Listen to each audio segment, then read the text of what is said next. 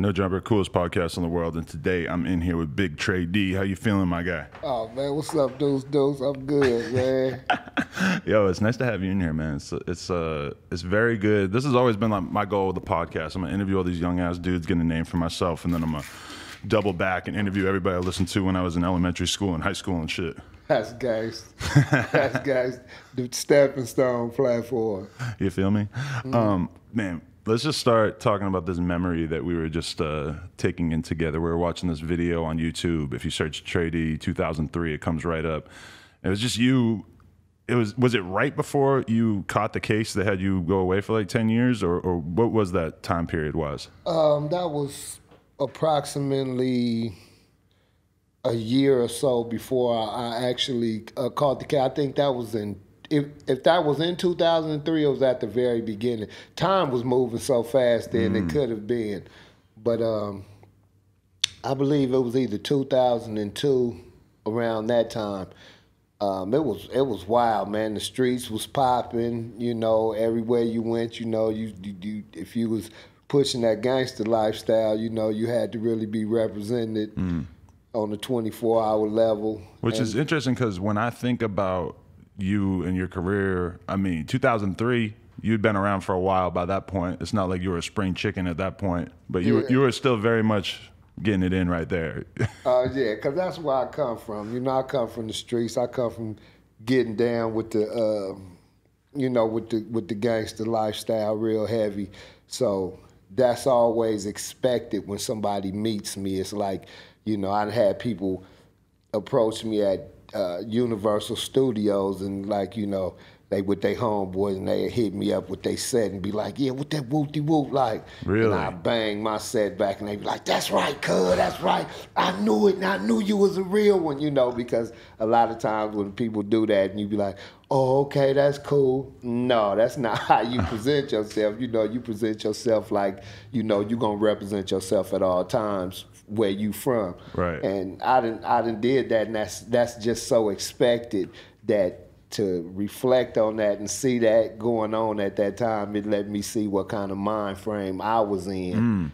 You know, and to me, when I'm looking at that, I'm just seeing the way that shit was before the internet. In the sense that that footage got a chance to rock, you didn't see it for a long time. You know, just the fact that there was it, just the look of that club that you were in. Right. It looked like everybody was having such a good time. They didn't all have their phones out. It was a very different atmosphere, even though it was only.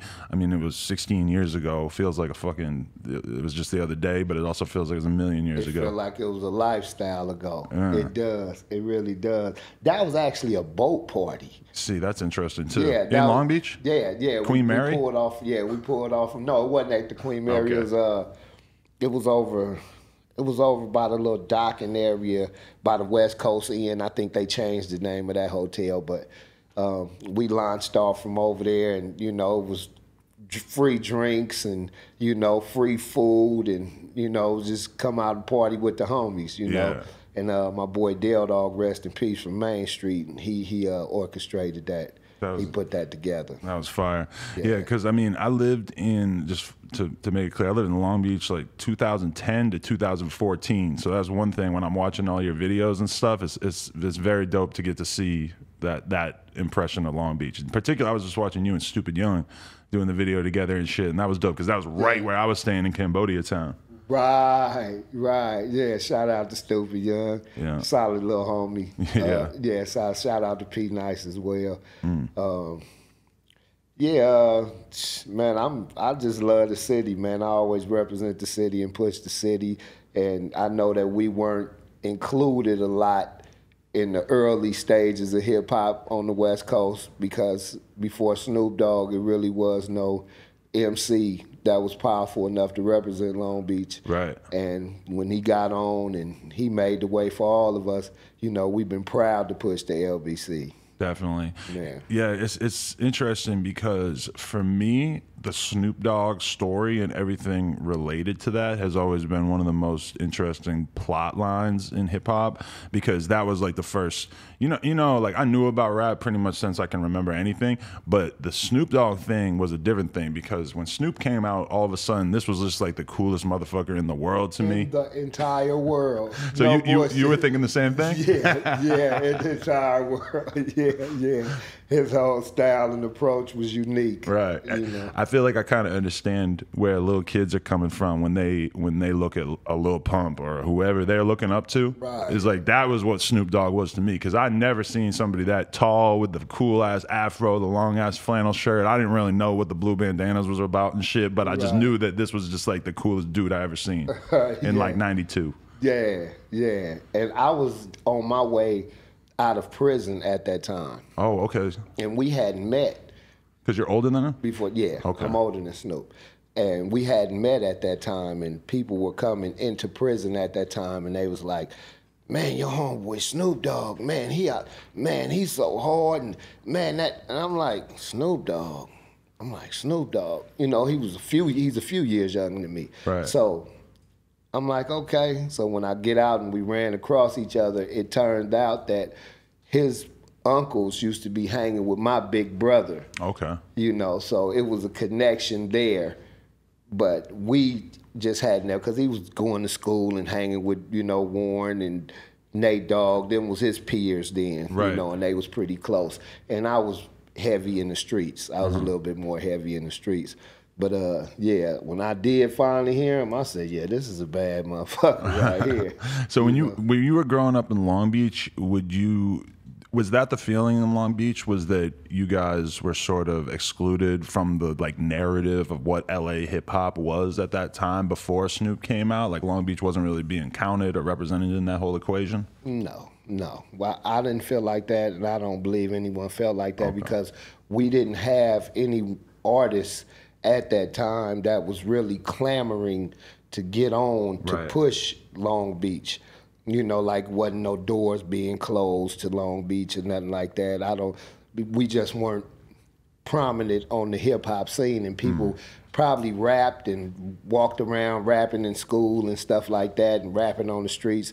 You know, me and my homeboy, um, little half head, we used to, you know, play E EPMD music and freestyle over that and stuff like that. But I don't think anyone really pursued rap with the passion that Snoop Dogg did. So we weren't ready to really even hit the map then. It was mm. probably somebody that can spit a couple of songs, but that's where where it end. You have to be to have his catalog and you know his ability to continuously invent great music. You have to be kind of born for it Right. you know, and it's good that he did open the door for us because that's like the the paradigm for Long Beach. You know what I'm saying? To you know, can he? You know, Snoop Dogg. We know Snoop Dogg from Long Beach. Who who else? You know, it's Right. like who else? You know, so he's like the standard bearer. What was your perspective on NWA as a kid? Was that something that you were just watching and, and trying to wrap your head around as a youngin? Mm, well, we right next to Compton. Right. Long Beach. So we ventured into Compton regularly and we knew what was going on. You know, we had our dope dealing out there and, you know, hustling and low riders and Jheri curls and every pretty mm. much everything NWA was pushing. But for them to vocalize the lifestyle of LA per se the way that they did from Compton, mm. you know, but Ice Cube was from LA at the time, and he is from LA. But for him to unite with them and for them to represent Compton is known as a notorious hub of Los Angeles County. So for them to come out so brazen and blatant as they did, you know, it was it was just inspiring to to feel like that you could be a gangster and be successful. Mm. That's that's how that's how it hit me. Because this is like the early days of like hip hop as a whole forming in California. So it's like that that must have sort of made every different neighborhood start to look at it as like, oh, this is a possibility for me to come out and do something. But they also had a very like political edge to the way that they were uh, coming out lyrically and shit. Yeah, the, the I think the politics came into play later on. you know, Mm. This the, is true, yeah. You know, the the fuck the police that launched, you know, the the full notoriety across America and all that. That wasn't even. I don't even think that was meant to be a political statement. It was a rap song, you know, like, man, fuck these motherfuckers, man, you know, and it just caught on like that because they took offense. Well, the police, you know, all law enforcement took offense.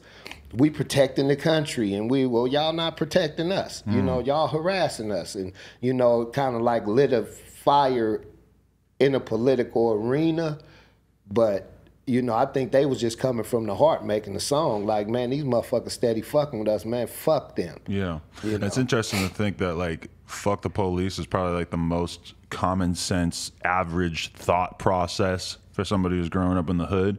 But then meanwhile, when white America heard that song, it was like everything that they knew was being questioned and thrown into jeopardy, you know? Right, right, right. Because they're I like, that, that's that. who's stopping my house from getting burglarized at night in their mind. It's like, how could anybody hate the cops like that? You know? Right, right. But I mean, even even white America knows that, you know, even from you know the Irish cops in New York, you know, to, to the, you know, to the. um, to the whole structure of law enforcement, you know, they got their own blue wall of silence. They got kind of like a gangster lifestyle Mm. to, to how they push too, because it's them against, you know, all the criminal element, as they say. Yeah. And if you don't fall on the side of go police, then you know you part of the criminal element. And, and shit's crazy because I've talked to people who are like close family members of cops or whatever, and they they told me that it's very much like a culture of extreme laziness where anybody who bites off more than they have to in terms of the workload of that department mm-hmm. is looked upon like an asshole. Like you you you want to look into the stuff that you have to look into like say that the department's being judged on however many murders they they, they have that year or whatever. It's like but anybody who comes in and starts starts trying to do more is really looked down upon because you know there's there's infinite crime like if you were a cop, you could think of five million crimes that are going on here. People speeding, not to mention all the drugs, not to mention everything. So it's very much on them to decide what they want to go after. So then all the other cops are looking at them as, why the fuck are you making it harder on us? Why are you making it so we have to do more paperwork? Right. Take uh, getting getting overseeing every little detail and little minor issue. Yeah. Well, that's how you know that's the general feeling in the ghetto. You know when you see they got more cops that patrol ghetto areas and urban areas than they do suburban areas. Mm. And why? Because if anybody looks suspicious out there, not supposed to be out there, the citizens are going to call the police mm. more faster. Right. You know, and it's like, you know, and it's it's also a fear and intimidation tactic. You know, we're right here watching you. You know, don't move, don't breathe wrong, don't you know, and you know, it's it's all a it's all a psychological um, strategy.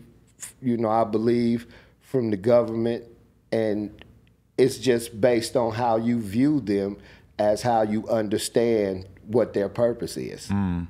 Definitely. What when you think about your childhood growing up in Long Beach and everything, what what what's your perspective on how like in retrospect, your perspective on how all of that shit was, how the cops treated you, how much violence you were surrounded by, having all these years. What tell me a little bit about your childhood and, and how you viewed the environment you grew up in. Hmm, that was a good question. Um, A little the- rambling. Yeah, no, that was a good question. No, I dig that. Um, the environment I grew up in was it was rough, but at the same time, it was a lot of camaraderie amongst the citizens of the community, and you know, if you you know I, I grew up doing bad shit you know robbing people you know snatching purses uh, you know the whole gamut. You know, I really wasn't a dope dealer, but I've sold dope, and it's just like you pitting yourself against the law at that point. So I understood that.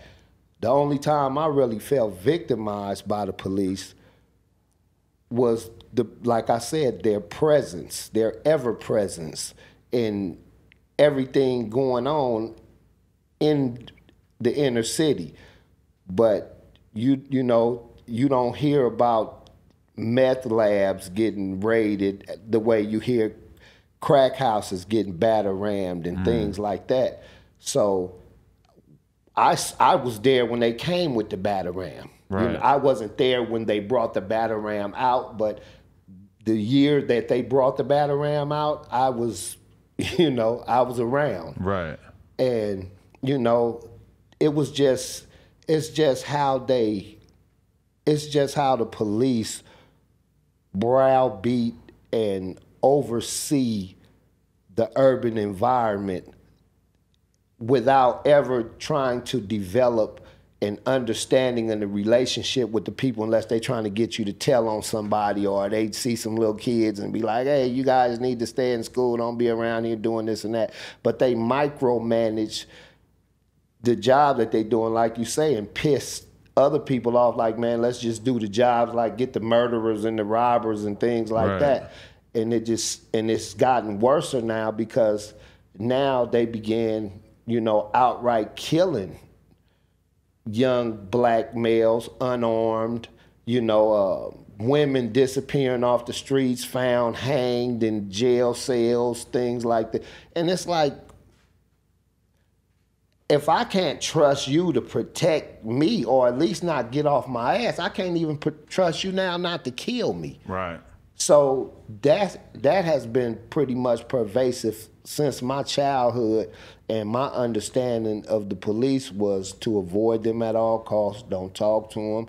Don't trust them. You know. Did your parents tell you that, or did you have to figure that out on your own? Well, I never knew my dad. Okay. So you know, my mom, she was kind of like the law of the household. She was the law of the household, and outside of that, what I went and exposed myself to was nothing that she led me to. So she didn't know my inter what my interaction was going to be like with law. Right. So she never instilled that in me. Uh. You know, but based on the, the, the path that I chose, that was the understanding amongst my peers. Right. And you know those that I encountered. Right. You know my role models and things like that. It was like we don't fuck with the police. Was your mom trying hard to keep you out of trouble and it just didn't work? Yeah, she tried hard with all of us, right. but you know she had her own situation to deal with as well. Being you know, you know, being a woman with six children. Right. That you know she left St. Louis to come to California and make a better life for us. So you know, and she was dealing with her own personal crisis in her life at different times. Mm-hmm. You know, um, and I mean, I get it. You know what I'm saying? I get it. So you know, I don't hold her. I can't say she she molded my thinking into not liking the police or nothing, but she was always a realist, and she always let me know that whatever I was doing, I should protect myself and be cautious, whoever I dealt with. Right. So did you were you the oldest, the youngest, in the middle? The baby. The baby. The baby. How do you see that having impacted you? Like you know, the, people always talk about how the the youngest one is the one who has the least guidance because the, the parent is being the most strict with their first child and then by the end their last child they're they're not really paying as much attention because they've sort of accepted at a certain point like the kid's going to come out how he comes out. So I, I, it's not really a reason for me to micromanage every part of his life.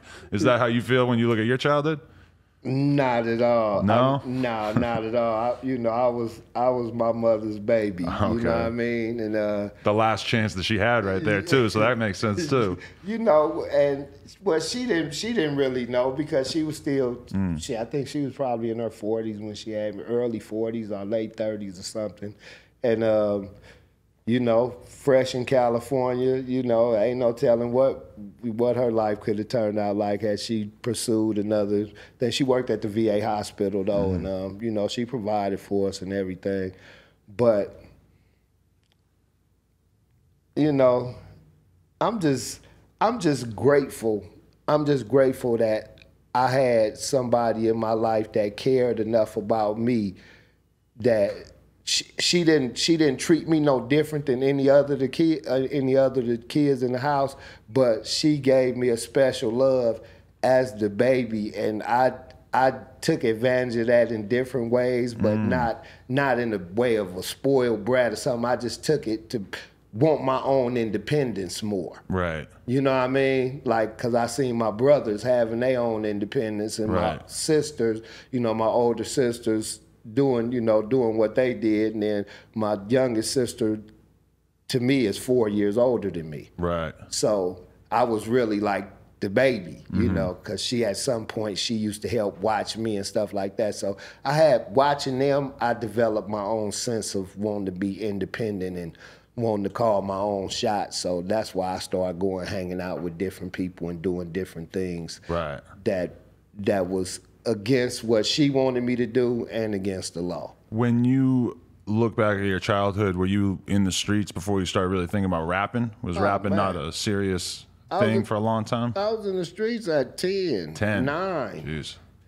Yeah, you know, in the streets doing shit, you know, and uh, yeah, gang banging at 11. Right.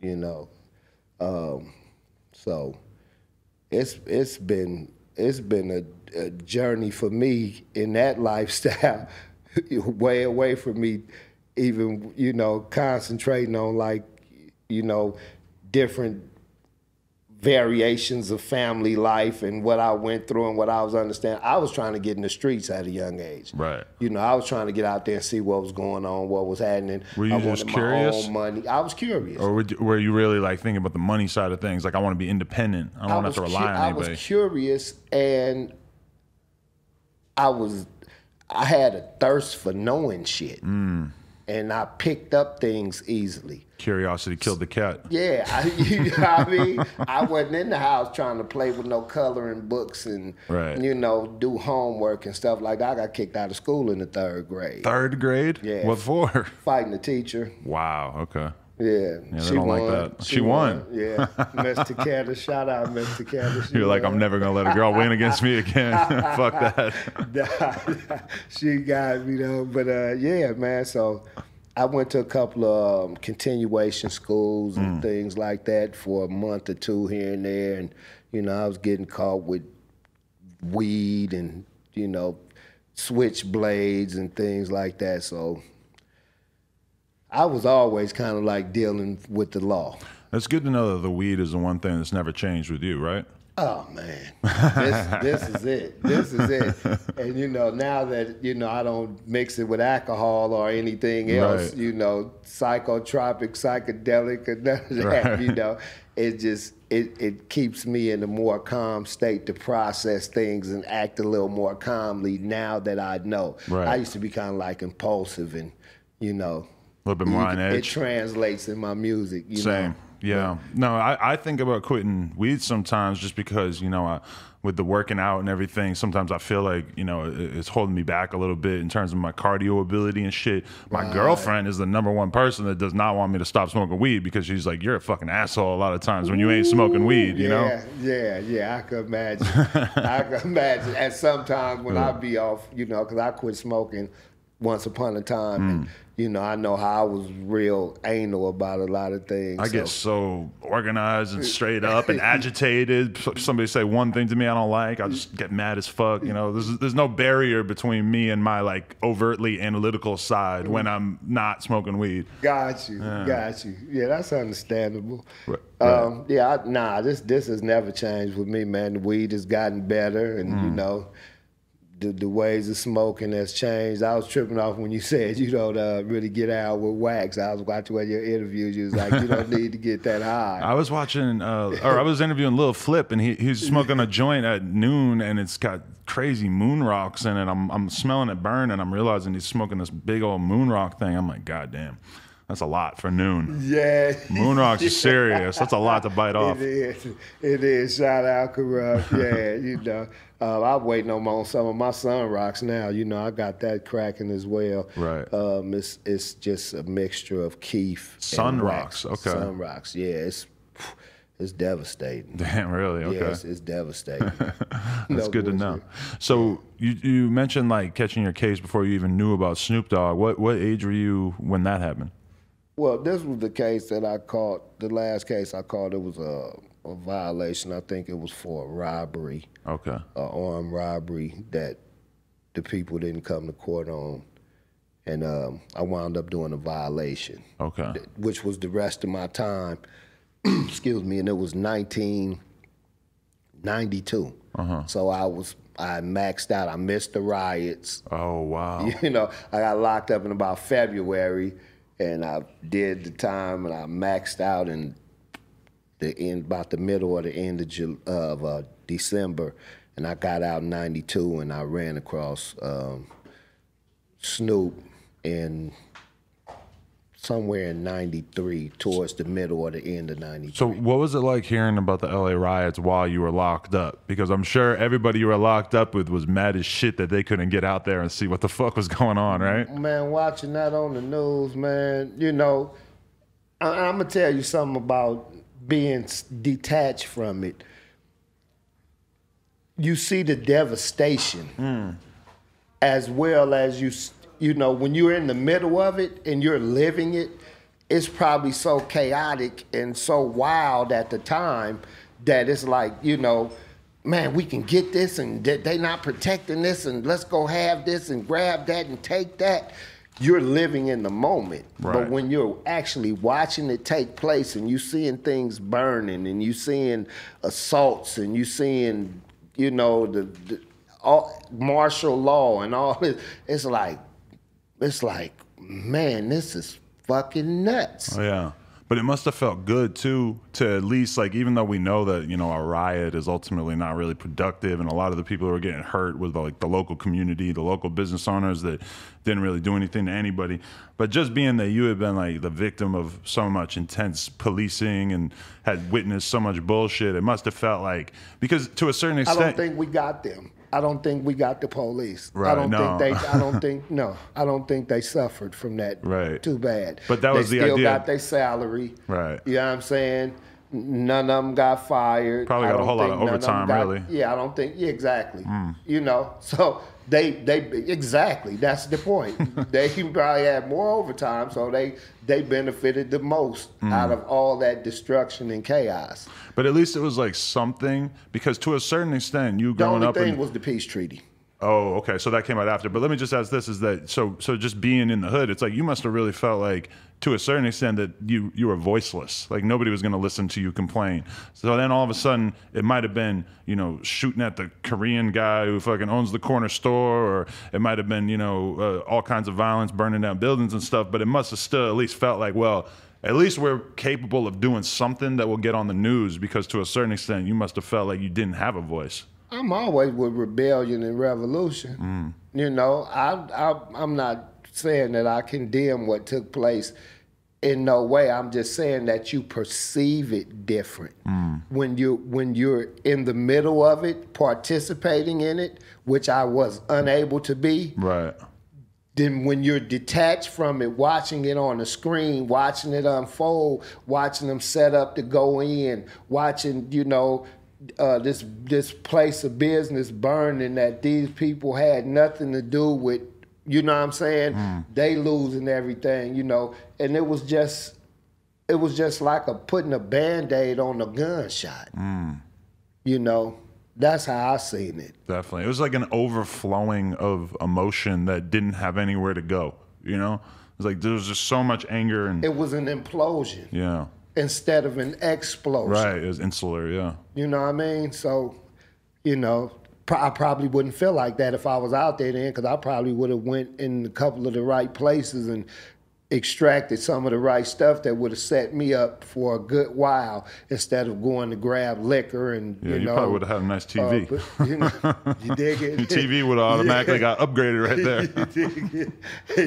yeah, so that's that's probably what took place with me. But when I when I was gone and I seen it, and then when I got out, you know, it was dog was popping. So, you know, I kind of merged with him within like the first year. How did that relationship sort of take take shape? Did did he look at you as just like a somebody who was a little bit more streetwise, a little bit more tapped in on the street level that he needed?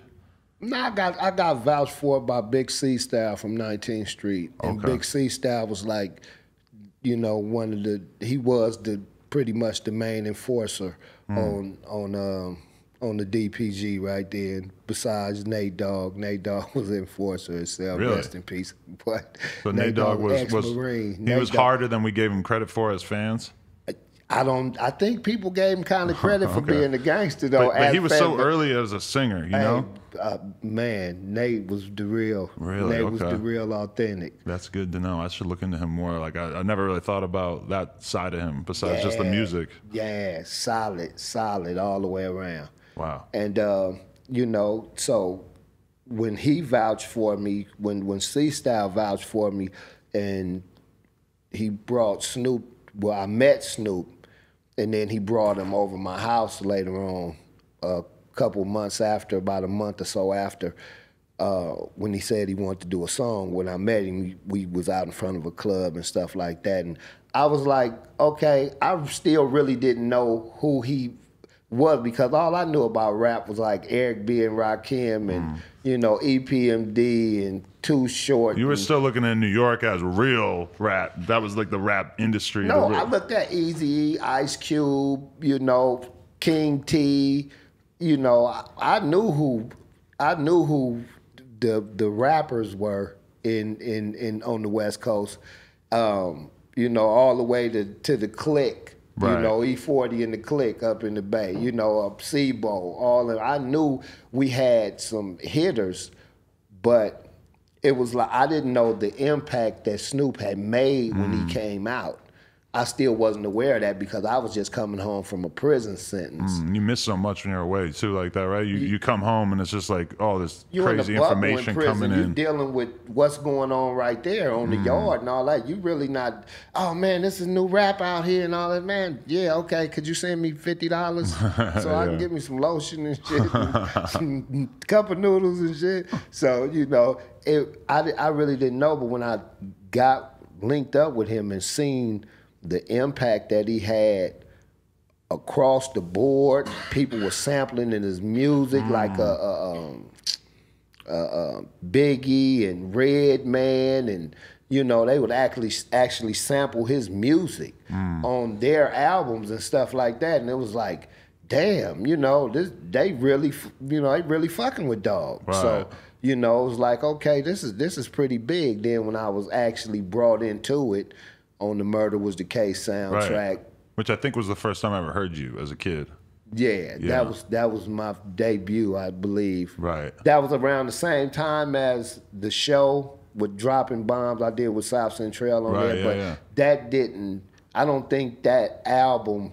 I know that album wasn't as Impactful. impacted, Mm. yeah, as impactful on the West Coast as the uh, Murder Was the Case soundtrack. yeah. So that's when people like really like, oh, okay. And then I was able to get on the Dogg Pound album. And then we did the um, LBC crew, uh, Beware of My Crew thing. And it was in the movie with uh, Martin Lawrence, uh, the thin line between love and hate, Martin Lawrence and Bobby Brown. And, we, and we got to perform in the movie. So that was kind of like my introduction into the game. And I seen just how being linked up with him, things were just happening. Mm. We were still trying to put together an album at the time. Right. And and it just came about that, you know, in doing the work, other opportunities and avenues open. I was recording with Roger Troutman, and rest in peace, and all that. And it was like, that was phenomenal to me. I grew up off Zapp and Roger, so Okay. you know. When, who told you to rap, or who who put that idea in your head that you could be a rapper as well, and not just one of the homies around him? Oh, I did. Oh, okay. You already had that plan Yeah. while you were in jail, or after you Yeah, got I out? I was writing. I've been writing rhymes since 1988. Oh, okay, cool. you know, just when I would go to jail, I would spend my time, you know, studying, you know, scheming, writing up rhymes, you know, and politic and doing what I had to do to stay solid. But, you know, I knew I I I knew deep deep in the recesses of my mind if I ever had a chance to showcase that I could put lyrics together, I would be able to. Hmm. But I never actually thought that it would take place, that I would get the opportunity to rap for anyone on a commercial level to where it would get exposed to the world. Right. You know, this was it was more like a hobby. Mm-hmm. Because it must have just seemed like rappers were superheroes at the time because there were so few people that you had really gotten famous as rapping because it wasn't like now where everybody we know has a crappy ass rap song on their SoundCloud that nobody gives a fuck about. That's the most normal thing in the world now. yeah, yeah, yeah, yeah, yeah. It was, it Yeah. was. You know, you because you only had certain people that, like I named about eight of them, but now it's it's many more than that. Yeah. You know, uh, many, many, many more. But uh, yeah, it was a it was a great time to be in hip hop then because the learning it and getting to collaborate with everybody who was popping, you know, from Xzibit to Suga Free, you know what I'm saying, to the newcomers like, you know, the Doggy's Angels, you know, to uh, the, you know the Lost Angels, you know that was my boy King Lou, rest in peace, and you know Ruffiano, and it was like it was it was just everything that was hot at that time. It was like bring the heat to the table, mm. and we gon' and we gonna make it make it swing. We're gonna let them see what we do. So. Was it an odd situation at that time because Snoop was dealing with his murder case on like during the the thing that that album that you've kind of made your debut on mm-hmm. that was like roughly based on Snoop's legal situation at that time. Was that something that was like an overwhelming concern at the time? Mm, well, I think when when me and him talked about it, when I asked him about it, I believe that he said, "I'm gonna beat this shit, D." Okay, so he was confident. Yeah, he said he said I'm gonna beat this shit, D. You know, and you know he he he embraced me as not like an artist. Initially, it was like you you the big homie, you part, and you gonna be part of the squad. Right. So, you know, it's never been a relationship like, you know, uh, I'm I'm trying to come get studio time from him or, you know, locate where they were or whatever. It's like, we here, we doing this, this going on, let's get this done. Let's, you know, I'm pulling up over here. You wanna go out here with me? We finna tour. You know, I've been all around the world, you know, um, on on some of his tours with him. And you know, it, it just took me from one world to a whole nother world. Right. And, you know, I, um, I lasted, you know, in 11 years, you know, just grinding and putting it in before I caught my case that took me away for 10 and a half years. And I've been home for like over five years now. Yeah, so that's that's how you like break up your life basically is that you had this like 10 11 year stretch of putting in work as a traveling rapper slash supporting other rappers all that shit and then that was like the end of that era is when you caught that uh, additional case It was over.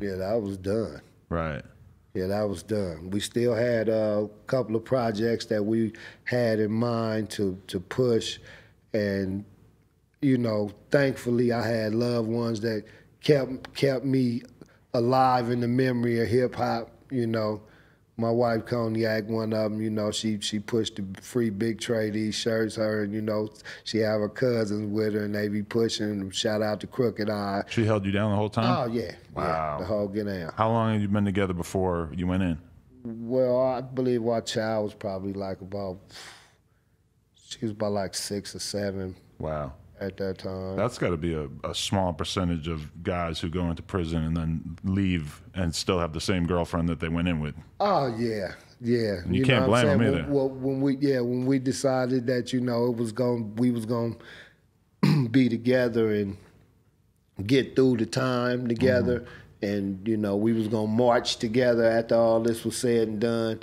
Then you know it was it was just you know just just get to the task. Right. Let's get to the task of getting past the time. Was it like it must have been so different for you going in to do that 10 years given that you had seen a lot, done a lot, been around the world, had all these experiences versus average person who's in prison ain't seen or done shit besides what's around them when they're when they're born. right. You ain't bullshit. I got a friend of mine who's like a pro BMX rider, and he was telling me about being in prison. He's like, he's like, bro, you don't understand. He's like, all I got to do is talk about being in Paris. He's Yeah. like, ain't none of these dudes been to Paris. I've been to Paris a couple times. They're looking at me like I'm a fucking genius or some shit. That's the truest shit in the world. You know, people they you know you had to separate yourself from a lot of people because all they want to do is hear the stories and be around you so they can write they people. Yeah, I'm hanging around Tray Deee every day. Mm. That's my boy. You know this, that, and the other. So you you encounter a lot of that, but. Nah, just yeah, it was devastating, you know, on the real, Adam, on the real. So I'm like, uh, I'm like, once this is over with, I got to figure out how to never put myself in this position again. And you know, that started that started with realizing that I was in a position in my life at one time to have whatever I really desired, and I didn't treasure it and value it as much as I should have. Is that part of what goes through your mind when you're watching that clip from 2003? Is that those are good times, but at the same time, the way you were living at that time was just not a, a long term plan? It was. It Right. was. I mean, I was. Yeah, I was full throttle. It was like I couldn't separate. I could. I didn't want to. I could, but I didn't want to separate the success from the streets. Right. It's like I'm gonna stay real to both of them. And you either got to choose one or the other. You Right. can't serve two masters. And that's what the problem when you become like a famous gangster is that It is. It's It's, like- a big problem because Yeah. Mm-hmm. you deal with the streets still. You still gonna deal with the streets, you know, because I was just reading this article about Nicky Barnes and how he was on the cover of I think the New York Times, and that the, the, and the whole thing was like, can the police catch him or whatever, and that's what made the president get so interested in his situation that ultimately got him caught up. Like the mm-hmm. fact that he was willing, he was so cocky that he was willing to go on the cover of a fucking newspaper to say like, y'all can't make a case against me. That's crazy. I mean the same thing when they put John Gotti on the cover of Time. Right. Who wants to really be that big of a gangster? Everybody really does when they start off. Mm. Truthfully, you know that's your aspiration when you when you pushing that gangster lifestyle. It's like I want my when my name is said, I want people to fear it. I want people to respect it. You know, and I want I want doors to open and motherfuckers damn near to bow down and curtsy when I step in the joint. That's you like the initial uh, dream before you realize that that's kind of not the dream. That the dream is to have money and to be able to take care of yourself and not have to worry about shit. But that just being feared is to a lot of people that's their like initial goal in a way. But you know, to to me, my program has never been pushed to where I've been trying to strike fear in people. It's just that you know that if we go to that position in the game where we opposing each other, you already know what I'm gonna come with. So, and if you want to come with that, then let's go there. You hmm. know, let's not yeah, let's not play games with it. You know, I'm not going to talk about you behind your back. I'm not going to try to, you know, take over your spot. I'm not going to try to steal your girl. I'm not one of them kind of people. I've never been one of them kind of people. I ain't going to snake you. If my relationship with you is solid and is real, it's going to be real, and especially if you're my homeboy. Mm. You know what I mean? So I'm going to give you that level of love and loyalty. Apart from that, you know what I'm saying? It's, it's like I don't want nobody to fear me. I don't mm. want you to fear because I want you to understand that you don't have nothing to fear from me except you trying to fuck over me. Mm. So I, I believe when you become smart and wise enough to to be able to make that balance to where you don't have to do crazy shit to, to to have motherfuckers like, oh shit, I can't do that to him. He might do this and that. They just know, you know. Like I believe at that time, people knew Tray Deee keep a gun on him at all times. So if whatever you're gonna do, whatever, however it's gonna go, just know that. Just know that. And he don't he don't be flashing it. He don't do all that. It was actually slipping in my slacks at the time. You know, I had the suit on, so I had to adjust it, and he caught me in the moment, and that Mm. just happened to go viral, I guess, from that time. Oh, really? Okay, yeah, that's yeah. what that it wasn't was. like, hey, let me show y'all my gun. Right. You know, not a, I, that's goofy shit. so much shit is based on reputation, just in the sense that you know we we all know dudes who that's what people say about him when people bring him up. Is like that dude got it on him all the time, and especially like I know a dude who's who's doing like at least eight years right now. He's in New York City, and mm-hmm. that's what people would always say with him is like this fool. Every single time you ever seen him, he had it on him, and it's just that that right there. That amplified his reputation, like in my head. And I'm a grown ass man that is not a gangster and has no reason to really be thinking about shit in this context. But that made me think, like, bro, that dude is wild as hell. Like he's nobody should fuck with him because he's he's ready for it. Yeah, yeah. Why? Yeah. If you're not gonna play, if you're not gonna play right by his rules, you know, not that you have to conform to my rules, but you know what my rules are to fuck with me. Mm. You know what I'm saying? It's a certain level of loyalty, certain level of loyalty that's gonna be expected. Mm. You know, it's gonna be a certain level of trust that I'm gonna have to be able to confide in you. You something might go down, I might have to snatch you and we might have to go handle some business and leave that where it is. So if I can't if I can't really confide and count on you in that for that, then you probably don't even want to entertain me. Mm. You you probably you know no I ain't gonna fuck with D on that level because you know what I feel like this right now, but I probably ain't gonna feel like this in a few days. But I know him, he ain't gonna let it go. You mm. know what I mean? So that's all it is, man. Just staying raw and real. Definitely. Are you able to talk about the situation of why you did the ten years? You can you tell that that story a little bit? Uh, yeah, it was just a situation where some guys pulled up on me, and you know they was playing and I wasn't. Oh, okay. You know, and uh, you know they stopping by my car and you know flexing and you know exposing, and I just wasn't having none of it. So Okay. you know, I sent them on their way, and they way happened to be straight to the gang enforcement and say, "Oh, Tray Deee, he did this and that," and you know, and they came over there, and some people at the barber shop around there confirmed the story. Oh, we saw him coming out over there, and yeah, we heard it, and then he pulled off, so everything was corroborated. By the time I made it home that night, you know, I was coming out the shower and it, they was coming up with beams and all that and Wow. you know had my family downstairs and you know they looked for the gun they they found a few Is few that weapons. is that the kind of situation that you'd been through like many times in your life, but you never thought that that was the kind of situation you would get caught up with because you're just not used to dudes popping shit and then going straight to the cops? Yeah, I mean, no, the situation definitely that's that's happened a few times, you know, where you had to be like, man, boy, quit playing with me, Right. You know, but yeah, to I never imagined that they would tell, they would go tell like that because they initiated Exactly. the Yeah. whole get down. So I said, wow, they playing a whole different game out here now. So, you know, I I took steps to safeguard myself since then. But you had no chance of getting off on self defense or anything. They weren't trying to hear it. Um, insane crip since 1977. You've been to prison seven times, eight times.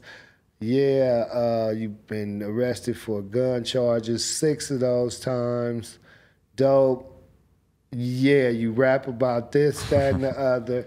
Sure, self defense, we got you. Right. Yeah, give him a couple of years in the cushy little place and let him go. Oh man. They wasn't having that. They started off with 19 years and 16. They really wasn't budging. And my lawyer, uh, Frank DiGiacomo, hope he's all right.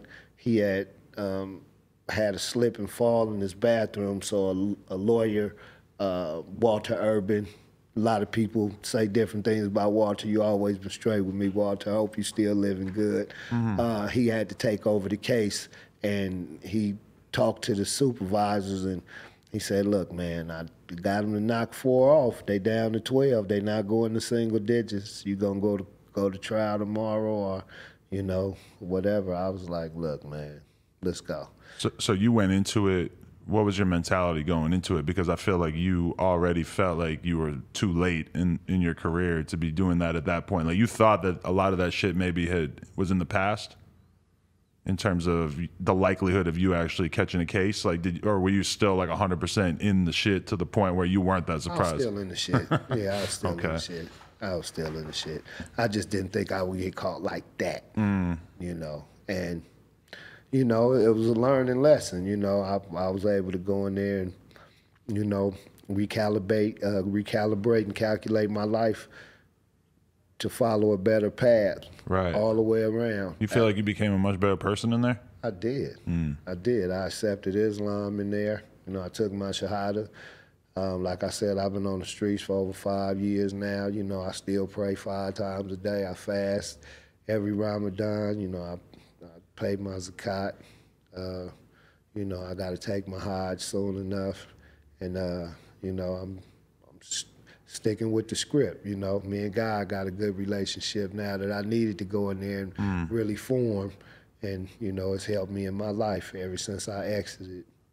Definitely. Yeah. You feel like you just yeah you just grow up a lot in there in terms of just having all that time to just think about the stuff that you were doing before that, and then you just kind of came out as a different person trying to live at a different speed. Definitely. That's definitely how it happened. Mm. You know, I saw that, you know, I would get letters from France and Scotland and uh, you know Sweden and other places I've been, and you and it would be like wishing me well and telling me how much I meant to hip hop and stuff like that. And mm. you know, I wasn't getting a letter from you know too many of my homeboys or you know from from my city. You know, I was like, damn. I rep I rep the turf pretty hard all my life. Mm. You know. Is that a weird realization when you go in to do ten years? You realize that you feel like the people back home don't give a fuck the same way that you thought that they would. Yeah. Mm. Yeah. And you know what? Me being out here, to be honest, you know, you, you, you really get to understand out of sight, out of mind. Because the world moves so fast right now, and it, it has always moved at a pace where if you're not really in in the thick of it, you won't be able to grasp the momentum that's required to to to not only sustain what you have, but to increase. So, I mean, from a legitimate platform, if you're not selling dope, if you're not robbing people, I mean, if you're living legitimately. So, you have to understand that it's the transition that you make from there to the streets, you you have to get in the system. Mm. And if you don't understand what the system is, then you're gonna fall victim. The system is you being able to provide for your family, you pay your bills, you know, like you were saying a little bit earlier, you know, just living comfortably comfortably and responsibly. Mm. You know, it's if you want the flashy shit, you gotta take the risks that come with the flashy shit. Right. You know, if you're not, you know, it's it's steps to get to where you want to get to, and if you know, you have to know how to to progress from step to step. So I, I came to realize that from the time that the time that I was able to sit in there and reflect, mm. and I said, you know, regardless whether the city loves me as much as I would expect them to, I understand that you know, people only believe what they see. If they don't see you, then they're not really knowing about the condition that you're in mentally, financially, you know, spiritually, whatever. But when they see you out here, then the assumptions begin. You know, it's like if they if they can't pull up right to where you live and be like, hey, look, Tray right there, there go his car, there go that and they don't see you for a while, but they see you in other platforms and doing other things, they automatically assume that you're doing much better than you might even be doing. Right. And and they and people take liberties with their assumptions. Uh-huh. So especially on like a street level, people are very quick to like make an assumption if they don't see you around or whatever that that you fell off or you you ain't fucking with people anymore. You know, either or. Yeah. Either or. Either you fell off and you hiding, or you know, you done got to a level where you don't require them as friends or associates no more. Mm. You know. How does it feel though to still have that level of respect though? Because when you if you go search Tray Deee on YouTube, is you doing features, doing st- songs with all kinds of young dudes, largely Long Beach. It feels like that's pretty much who you fuck with is like people who came up in the same environment that you did, and it's cool actually to see that somebody like Stupid Young, who realistically was not even like alive or paying attention to music for a large part of your career, is that he wants to show respect and that he understands that you had an important contribution.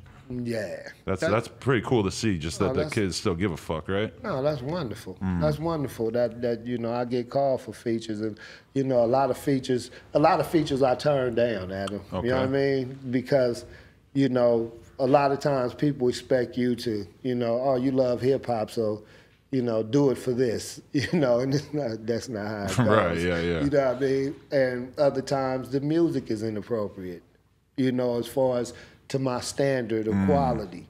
So, you know, I have to figure out a way to tell them, you know, eh, you know, it's, and I don't grab everything that comes toward me. I don't So know if we want to hear Tray Deee on like a Migos beat, right? You like something I a little more I'll West Coast? a Migos beat up. hey, I was tripping. Me and wifey was different the other day, and we was listening to something. I said, you know what? I said, we'll kill this beat right here. you know what I mean? And I, I think I'll fuck a Migos beat up. Right, It- okay. Because you know what? You don't hear a, a 808 and get turned off? No, hip hop is fun. Okay, that's cool. I just look at it as, you know, they popping mollies, they taking pills, they snorting lines, they Right. drinking lean. You know what I mean? Does that So- turn you off to it? Nah, cause I mean, shit. I was doing shit when I was when I was in in my heyday of rapping. You know, I'm Right. I'm having fun, chewing mushrooms and all kind of shit, and you know, everything. We was having a ball. You know what I mean? Right. You know, I don't do heroin and crack and no shit like that. But you know, pretty much everything that was in the life. You know, I, I might have dabbled in, so I can't turn around and condemn what they doing in this day and age, or I'd be a hypocrite. But do you worry about it just being that you know a lot more? You know what it's like to see some young dude that you're friends with turn into a junkie. Uh, and you see all these kids taking pills, which are a fucking perfect entryway into being a heroin addict and all this shit. Like, does it kind of worry you when you see uh, a lot of that? I don't see it that much. Oh, okay. Seriously, I don't. You know, and if I did, you know, it would only probably concern me to the point where if I knew the person or, you know, knew somebody that I cared about that was connected to him, that I might even broach the subject. But you know, motherfuckers doing what they doing to feel good and get over. You know, drugs numb you for the most part. So, especially those, you know, more. Uh, damaging drugs. You know, they, they take you to a place where you have to want to be in that zone. You know, I, I see certain people that they do exposes on and stuff like that. And they be on crack and stuff like that, or on meth, and you see how they acting, and they not even coherent and shit like mm. that. And you like, you want to fuck with some shit that you know. Right. So you can't really understand the psyche. But that's kind of like to a young kid going out and doing all these crazy ass drugs is like a lot, in large part the same reason that a young kid might want to join a gang, kill somebody, shoot somebody, whatever, is that they just want to prove that they're a man. They want to prove that they're not a little kid. They want to prove that they don't give a fuck. And like some kids might do that by shooting at somebody. Some kids might do that by just standing on the corner every day. Some kids might do that by just popping a whole bunch of mollies and acting crazy. Some, And- some dudes might do that by go sitting in the tattoo chair. Right, for and real, Getting yeah. sleeve from head to toe, you know. Some dudes might do it by going to college and getting a good job, shit like that. You know, that might be their way of proving that they're a man. For my dad, when I look at his mm-hmm. life pattern, I'm mm-hmm. like, damn, he got out of college and went and started a family and got a good job. That went right over my head. yeah. I wasn't thinking about that. Yeah, yeah.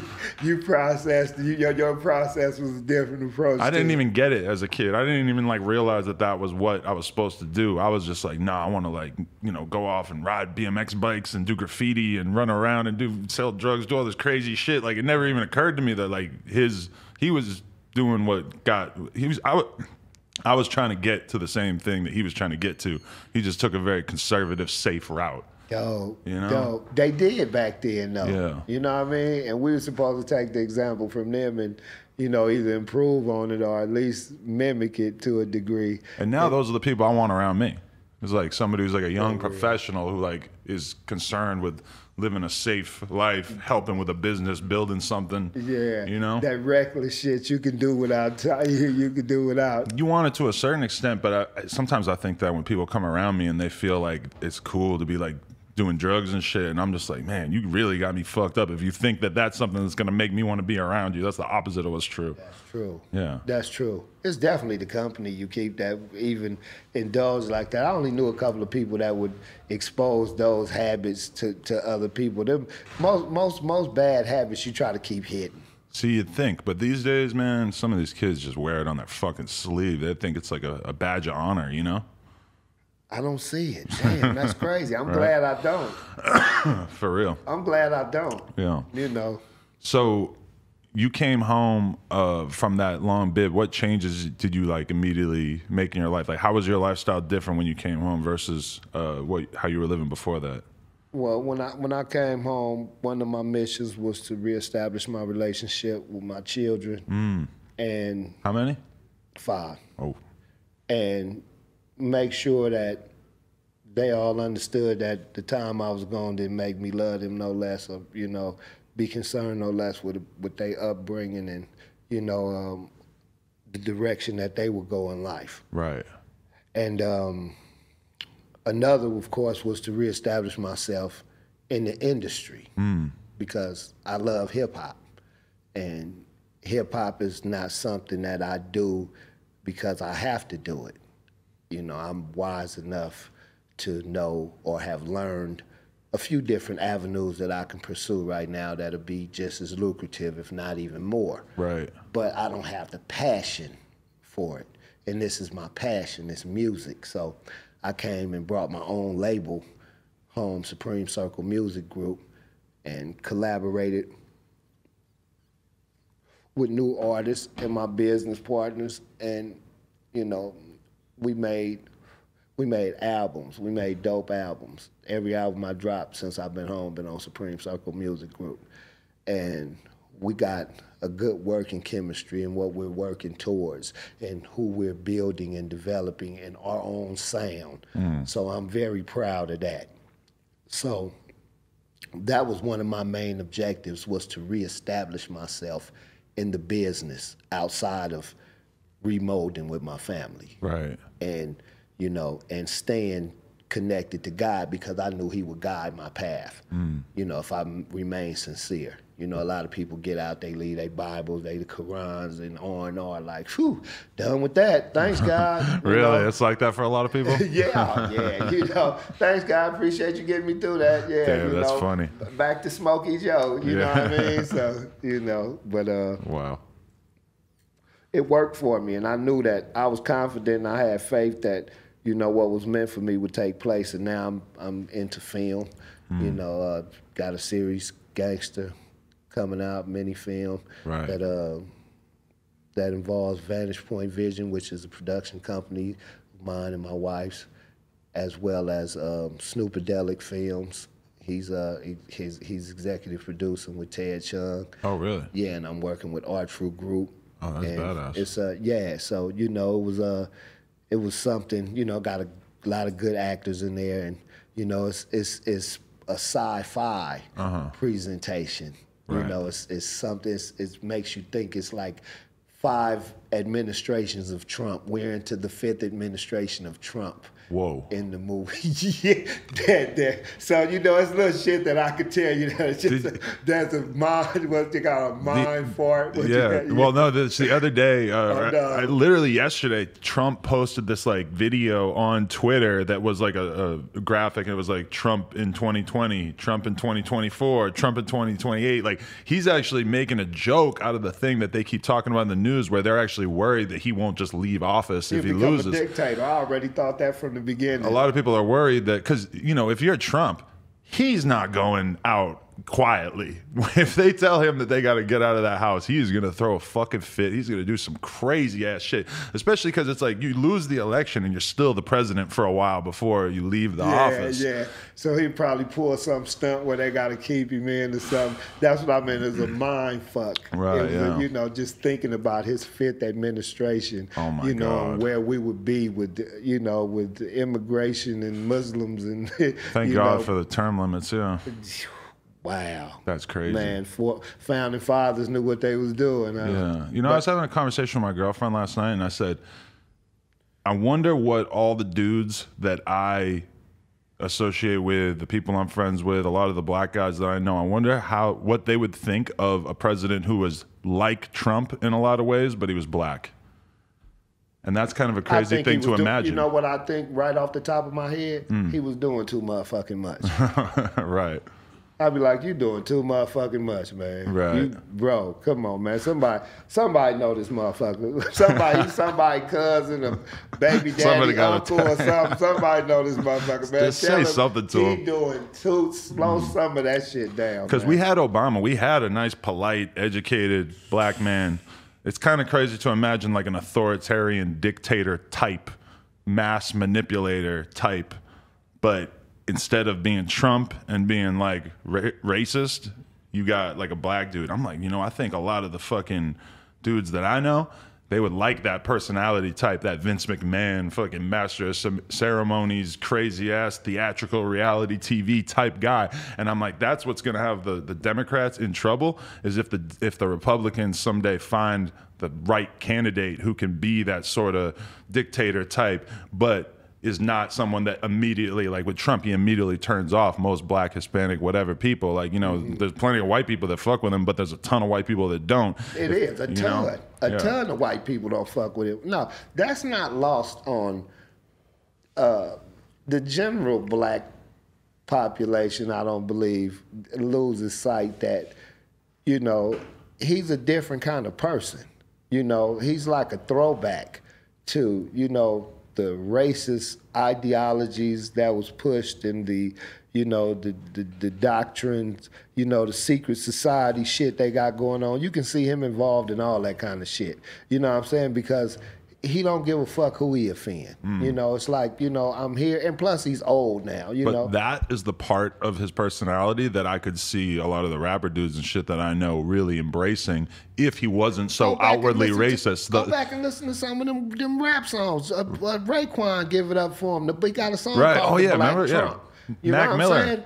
Had a song about Trump. Fucking all kinds of everybody. Like like until he became president, people forget how well liked he was by the community because in hip hop, people like a businessman. They like a self-made man. They like somebody who, you know, is rich and, and presents themselves as a boss, a deal maker, whatever.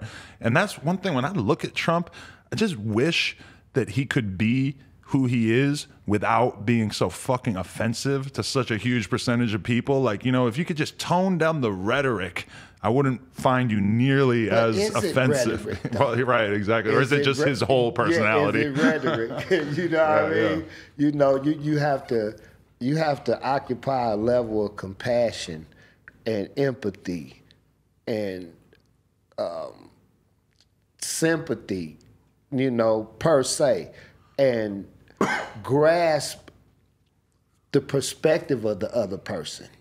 You know what I'm saying? It's not just your way, your deal. This is not a this is not a you know, it's not a business. We're not brokering deals and, you know, uh, cutting off supply chains and shit like that, man. Don't run this shit. Run this shit like we all are people and we all need to get along and understand each other first and foremost. If he went back on half of the shit that he been spitting out there, I think I think motherfuckers would start fucking with Trump. right. I think if he really, really like said, look, man, you know, this what it is, man. Damn all these advisors and shit like this. This where I'm at with it. You know what I'm saying? On immigration, this what the situation is. I don't got nothing against him. he obviously don't got nothing against Muslims because he fucking with uh, uh MBS over there, the one who supposed to knocked off Khashoggi. All right, yeah. You yeah, know what. I'm saying? He they tight the motherfucker. Yeah. You know, he trying to he trying to get deal to Saudis like however many billions of dollars worth of arms. I mean, I think he's corrupted by the Russians for sure. Like he he's he's he doesn't act as if he's somebody that I think that's a big part of what people don't like about him is that, and in particular, like this audience that we're talking about of like you know urban young people or whatever, is that they value loyalty a lot, and he doesn't seem loyal to his country. And that's part of the problem is he, he seems so quick to defend North Korea or Russia when he could just be like, like he does take an America first stance on a lot of stuff, but then mm-hmm. at the same time he cowers like a little pussy to Putin and to all these different people that he really has like. It's not obvious to me what the reason should be. It makes me feel like he's corrupt. Well, I I believe that back in the days when he was doing them Amer- Miss America pageants and things like that, Walking around in the dressing room, yeah, when they looking at all the girls. and you know they had wild parties in Russia back then. Oh, you know, God, yeah. when you go to yeah, when you go to Russia, they was legendary. I read about them. Hmm. You know what I mean? And you know they probably got him going in the room with an underage girl or something like that, and you know she probably didn't look underage or whatever. He they probably got him off that vodka, Hmm. and you know who knows? I ain't calling him nothing. I'm not calling him a pedophile. I'm not calling him none of that. But but you don't even have to guess because we know that he was cheating on his wife with porn stars, which is you know from my perspective it's it's not that crazy, but from my, from the average American's perspective, there's no similar thing that you could compare that any president has done before in terms of like just being a slut, basically being a fucking wild ass dude. Man, I thought he wasn't gonna get in when he they caught him saying grab him by the Oh, pussy. I thought it was over as I fuck. thought it was. I thought it, with women so you know so vocal in this country, and you know, and then and you know, thank God, you know, they they gaining their place in politics and things like that. That that was so offensive to just be. You supposed to be regal. In- Right. in, in the, as when we grew up, well, when I grew up, I could say that you know you looked at the president, even if you didn't agree with his politics, you looked at him as somebody that could handle any situation that needed to be handled based on the betterment of the country. Right.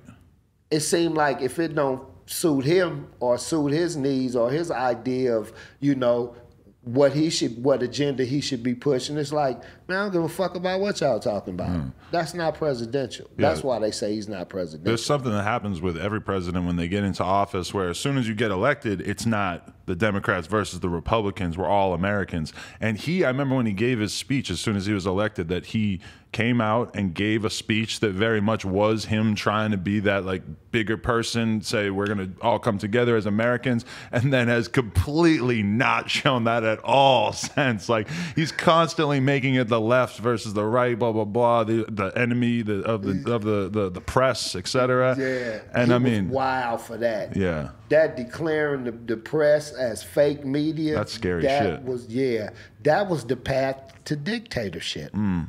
that's kind of like the beginning path to dictatorship you know you study not really even study but you go read books and they make mention of marx and lenin and you know things like that you know and it's like you mussolini you know you you you kind of like know stalin they they was they was pushing the this is for statehood. We this this is going to be the directive, and this is what everybody's going to follow. And it seems like that's kind of like the you know the direction that he's pushing. Yeah, yeah, and it, it feels like a lot of people who should be better than to support Trump support him just for the fact that he is the enemy of the media, of the leftists, of the of the socialists, of all the things that a lot of people hate. It's like they're just willing to get on his side because they don't like the other side, and that it's just straight up become teams. Even if the leader of you know like even if the leader of the gang is a fucking idiot in Trump's case, it's like you still shit. If he's cool with you and he's gonna be fucking going to war against your enemies, then you got to saddle up with him. And I understand it. Mm. I do. That's politics. Not only politics. What is the Democrats really offering? You know, in in you know, in contrast to that. Right. You know, it's like who do you really got that's going to step up and really push a line for the country that's you know that's that has those characteristics that I was talking about. Is regal, that's you know uh, strong, that has a good background, that you know is that that shows in his history of politics, he's always voted and stood for the right causes and right things. You don't have that. You you have settled politics now. It's mm. like, okay, are we going to settle for this one or settle for that one? And the, you know, the Republicans pretty much like shit. This who we got. We got our position to you know to, to really dictate how this country is ran right now. Fuck it. If he's an idiot, we'll just try to get shit by this idiot. You mm. know what I'm saying? And hopefully he'll fuck with us on it. We'll show strong allegiance to him, and hopefully he'll push our agendas through and our platforms. He'll be able to uh, you know support and you know, damn it, if the Democrats get it back, then they get it back. But who's I don't see anybody over there that powerful to really come in and and make it. Then you got the, the, gay dude, you know what I'm saying? The, he, you know, it's like, come on. I mean, I'm not really against what they do, but I mean, what we gonna have? Two best men in the country? Yeah. You know, the, the best man and the first man. The Does that worry you? The, I'm not shit, man. God gonna do what He do, man. When it's His time to do it. If mm. it, if it start going too much like that, you know, yeah, I'm gonna be worried. But yeah, on the real. But that shit is nuts, man. You know, you're gonna have the the the the the, the, the president and the and the first man mm. in the country. That's and that's not a woman. I'm not as worried about that as I'm worried about the the idea that the Democrats are going to get so they just keep getting deeper and deeper into their weird ass identity politics bullshit, focusing on weird social agendas that the average American doesn't care about. Because if you want to win this fucking election, you got to get the middle of America to to turn their back on Trump and align themselves with somebody who's more left leaning and you're not going to get there by focusing in on like trans bathroom issues and shit. The average not, american i'm guarantee you Tray Deee do not give a fuck about that and you're probably a lot more like the average fucking person in the middle of america picking who they're going to vote for. Those people are worried about pretty basic shit. They're worried about their jobs the economy safety in their neighborhoods and shit and somehow trump managed to speak to those things. They are worried about immigration and shit like that and trump manages to fucking rile those people up, regardless of how he gets there. If the Democrats could find a way to show that they care about that kind of issue mm-hmm. without being a fucking monster like him, right. then they'd be winning, in my opinion.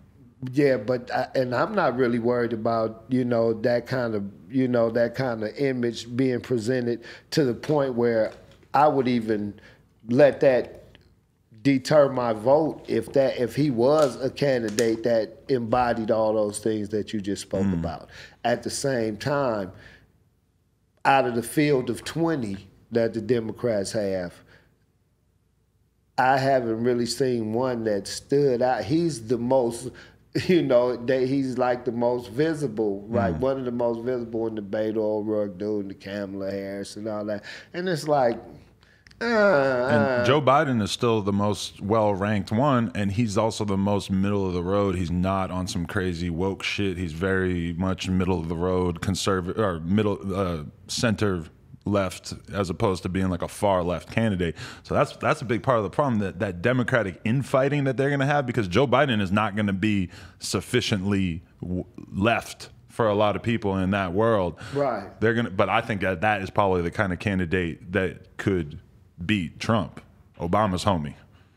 You know. Yeah, yeah. He he probably be one of the closest, not unless you know, not unless somebody else came up with a great track record and all that, because he's being questioned on a lot of things. They was just clamoring for him to apologize the other day about praising segregationists, right, saying, yeah. you know, oh yeah, they oh, he never called me boy, and you know he always treated me like a man. Yeah, you ain't black. He what he gonna call you boy for? He gonna treat you like he treats you. He gonna treat you like one is. Everybody, a lot of other motherfuckers got called boy and a whole lot worse. Mm. But you know, it's just little shit like that they got to pick at. And then with him, with the women and shit, yeah. you know, they gonna come back up, you know, saying, you know, the inappropriate touching and all that, and you know, the creepy shit. But that's the problem. All these Democrats are gonna be going to war with each other, and meanwhile, Trump is gonna be focused on just trying it. to bring you all these people together for him. but meanwhile, all these Democrats are ripping each other to shreds. You see it. And it's only gonna get so much worse as we get closer to the election. Yeah, it is. It Terrifying. Is. Yeah, you see it. Yeah, he's he's he's he's definitely on the path to becoming the dictator. Oh, man. And it goes so deep that I I um, I even think that he might be the antichrist. Really? it's a possibility. What do you mean when you he- say that? If if he spelled his last name, his middle name Joseph. I think Yeah. Don- DJT. yeah, Donald Joseph Trump.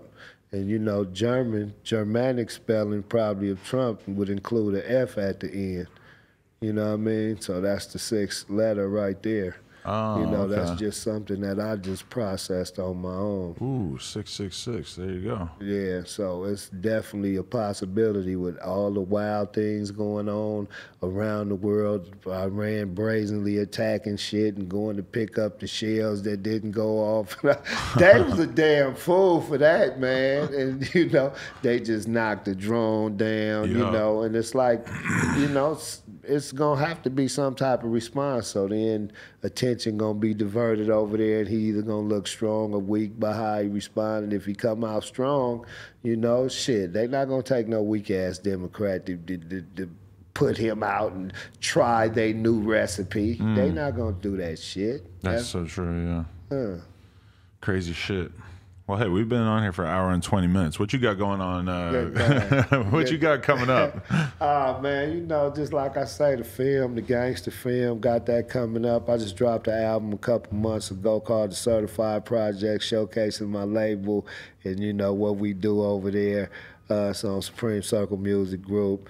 Um, also, I got my Son Rocks brand. Uh, meant to smoke some of that in here, but we was already on the air. oh, it's, it's killer. I'll make sure I leave you with some of that. Okay. And uh, you know, we got the um, we got we got the shows coming up. We're gonna start doing a few shows. Um, actually, we lining up with this uh, promotion company. We're gonna start bringing more hip hop shows to the West Coast. You know, a lot of times people be scared to book venues and things like that, but when you connect it to the streets, you're more able to make street events happen because you know the right people to holler at and you know interact with and build with to make things happen to where it's no danger. Definitely. So yeah, we're gonna we're gonna start doing that. Um, also, free DW Flame, waiting on him to touch down. You know, he's one of our new artists. He's making a lot of noise. He got scooped up by the feds. He been gone like a year and a half. He might only have a few more months to do. Okay. Um, making sure that go right.